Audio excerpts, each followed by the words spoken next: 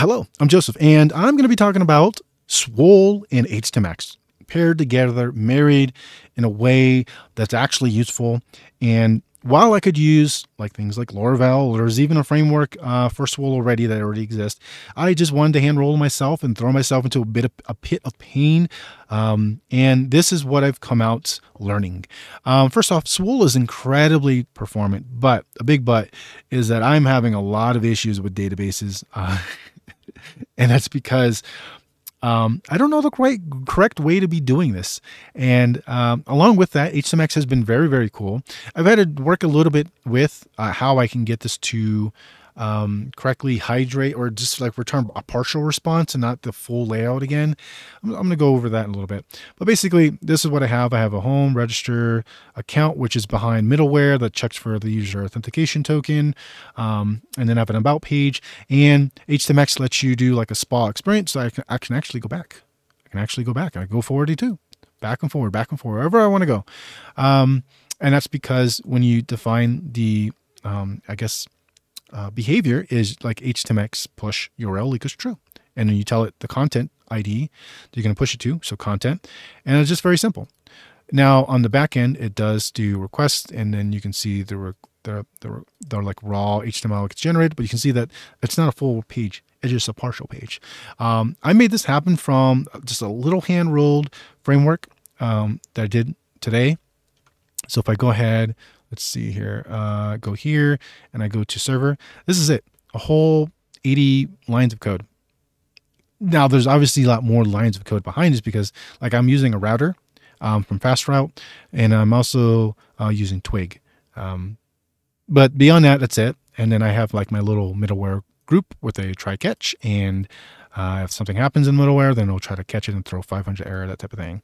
Um, if, it, if it's fine, it takes the context of the, the middleware that's being generated. So for example, if I go to my source here, go to middleware and go to auth, uh, my user ID is passed into the context based off the JSON web token inside the cookie of auth token. Now, obviously I'm not using PHP sessions. I'm not using any sessions at all other than what's embedded in the JSON web token here. And um, Cookies are not always the best thing, but in terms of this here, it's super simple. There's no point to have it really complicated. And so the, all I do with, with my routes is I specify some middleware here. And then in that server code, I look up to see if middleware is present. And if it is, um, or if it's not, I just return to handler. If not, or if it is, then I go ahead and go through the um, this thing here, which just goes through the array of middlewares, and then at the very end, I have my handler trigger if the if there's if it's still like moving forward. So it'll stop if the null is returned from one of these middlewares, and then the middleware itself should be handling um, like if it's unauthorized, or something like that. So that's what I have here. Pretty simple. And then how do I kind of cut off the like main layout versus the content? Um, I'm going to show you my about page real quick. It's really simple. So this is the about page request handler. I guess I'm not even sure what to call it. It's not really a controller. It's just a function. By the way, in PHP, functions are glorious, but they are hampered by the fact that you can't get autoloaders to work with them. You can use that like the use use function thing here, um, but it, it doesn't know where to pull it from, even though uh, I, I'm I'm just baffled as to why this is still an issue after so many years now. Um, so in Composer, you you have to manually put in the files, and it'll load all of these files all at once, which I guess is fine for performance, but still pain in the butt because um, and then even the editors have problems with it. So for example, I can't jump to this function. It doesn't it doesn't know how to how to actually jump to it. So that's a little you know sad face moment right there, but incredibly just dumb function and I pass it in as the route. And um, I, I, use use twig, use twig, just static twig as this as like singleton pattern, really simple. And um, then I just load up the about page and render it. And then how do I know to cut off the content if it's a request or not? Well, in use layout, um, it checks for is HX. And if it is, then go ahead and pull the full layout and pass in the context plus the, uh, the, the HTML that was already there based off the content of the layout. Or if you're going to have like multiple bits of the, the fill in, then you would have like multiple bits here, but you would change the use layout to whatever you want. Then there's the database side of things. This is where I had the most problems. So one thing I did first was I just created a, initialized the database using the Swoole co- coroutine Postgres thing is built in now to Swoole.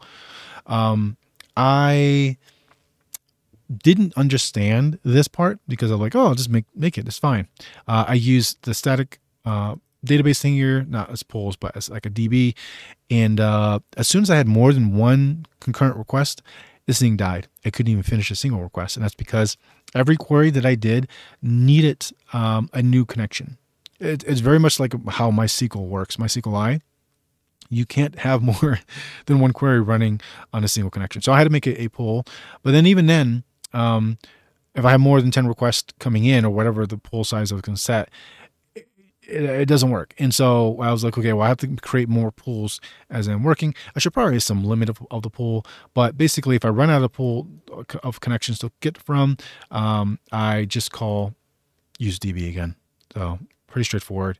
I have to do some unloading of connections on here at some point, but it's not really like a, a super usable state, but it's, it's usable enough in terms of trying to get it to to do that. And then like my validation page or my register page is quite long. Uh, I should be splitting this up into their own functions, but this is my post. Not that big. I mean, it's not that that, that you know that big of a, a problem. Um, the only gotcha here was user ID. This was what you're seeing down here where um, even after it was validated correctly, it tries to insert it, uh, it doesn't work. And then for some of these things, for so for example, my uh, my validate function had to be wrapped into a uh, a coroutine to go ahead and um, execute the database because if not, it would die over uh, and it would get stuck. I had problems where I couldn't even get the prepare statement to prepare at all. Uh, so this this helps it. You set up a channel, set up Go, and then you, inside of here you can run whatever database things you want. Um, technically, I should probably step this out and have like async validate versus validate. Kind of get there because I, I did that for my user thing here, where I have my async user thing where it just calls my user create, which is asynchronous request, a synchronous request, not asynchronous. Um, and then the uh, it pushes up the response of the channel and you kind of get that. And so obviously if i get back this and there's no user id because it errors out. And this was another pain in the butt because normally i could look at the error id of the, the statement or the database. The, the, error id was zero on both of these things. So i can't even tell if it was like a, a um, i'm drawing a blank here. The, the primary key error thing the uh, the constraint uh, was being hit. It, it, it, doesn't even tell me that unless it's in the string. So like for my create account here, I actually look in here to look for duplicate key value uh, in the error string. I don't I, I don't like this, but the, for whatever reason, Postgres in the context of what I'm using here just can't give me the error properly for whatever reason. But yeah, I do that. And then uh, the rest of it is pretty straightforward. If I can get back to where I was at, and uh, create the you know JSON web token, chuck it into a cookie, and then send back a redirect with hx redirect, um, and telling the um, the hx HTMX to just go back to the homepage. Uh, although this should actually go to account, not homepage here. Um, now, another thing I ran into is that when you're setting up Swoole, it recommends like Docker and stuff like that. And it uses uh, a restart system that almost never worked for me. I do not know why, but it was it, like if the server crashed, it couldn't even restart correctly from like a fatal error. Um, and so I actually swapped over to what is called, let me look over here, um, Reflex. And so in my Reflex, um, I, I override all their supervisor deed things and just turn it off because it, it doesn't help me. I don't want it to run. Uh, and then I, I should be looking if this is ARM or AMD. Uh, wait for on a Mac, M1 Mac or M2 Mac or, the M processors, it can properly switch over. But you kind of get the idea. Um, and then I have a Reflex um, script here. Where's it at? I'm drawing a blank. Uh, routes test. Did I copy it in here? oh, it's a uh, it's not a script anymore. It's just a supervisor service. So um, Reflex or reflex, and then fancy for fancy output. This Y is all colorized, and then V for verbose, S for uh, I can't remember offhand.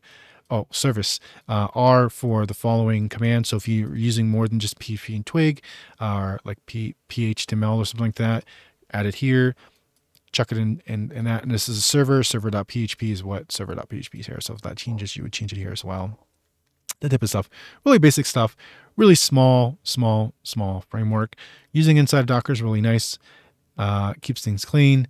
And yeah, I mean, there's not really much else to say or go over. Now, um, do I recommend this? No. Uh, use Laravel. Use anything else.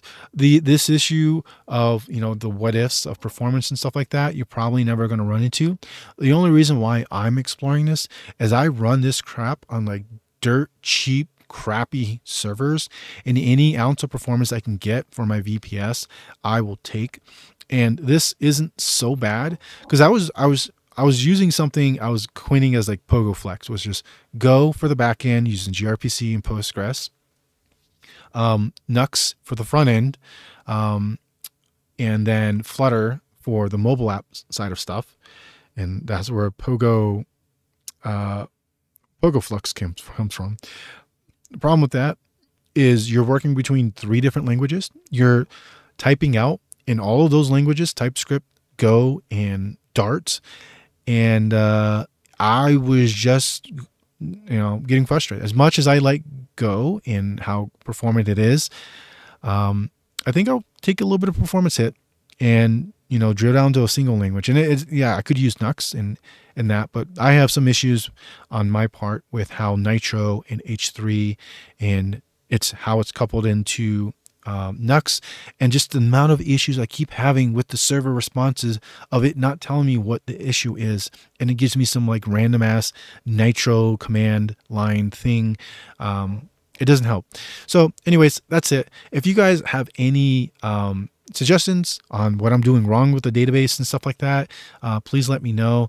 If you guys want any of this code, if you're interested, just let me know. Uh, it's it's not really in a, like a usable state. I, I kind of need to add documentation at minimum. Uh, but yeah, it's at this point, it's just Twig. It's Fast Router. It's uh, Phinx for database migrations, and uh, and uh, Swooly or Swoole uh, for the I guess server part of it and uh, yeah, not, not really much else. Here's here's my uh, my list of includes, if that makes any sense to you guys.